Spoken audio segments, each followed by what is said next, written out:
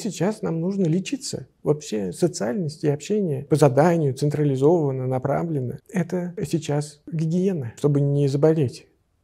Потому что в противном случае, если вы не общаетесь, не делаете это целенаправленно, если не делаете это осознанно, понимая, что вы не информацией здесь обмениваетесь, вы просто с другими людьми вместе присутствуете, и вы ну, можете что-то делать, можете как-то развлекаться, и, и важно.